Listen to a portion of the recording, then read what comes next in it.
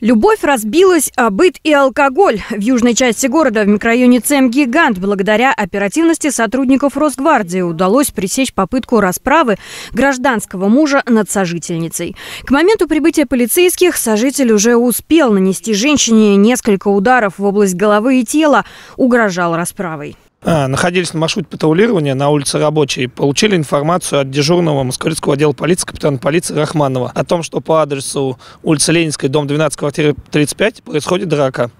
А, выдвинулись туда кратчайшим способом. Неизвестный нам гражданин нанес телесные повреждения своей сожительнице.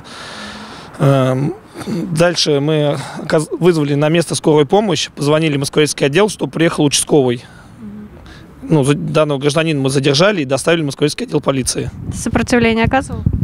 Не пытался. Нет. Фигуранты произошедшего снимают комнату в общежитии. Как отмечают соседи, часто ссорятся. По словам свидетелей, также нередки в этом незарегистрированном союзе злоупотребления алкоголем. В этот раз в привычной уже семейной драке сожитель зашел так далеко, что даже начал представлять осколок от разбитой вазы к горлу женщины. Вам пришлось оказать какую-то медицинскую помощь еще пострадавшей? Да, а, успокаивали. Она была в шоке сильном. Ну, ссадины ее убирали.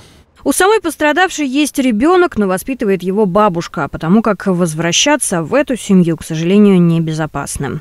А вот ее некогда возлюбленный, ранее судимый 25-летний житель Рязанской области, был доставлен в отдел полиции для дальнейшего разбирательства.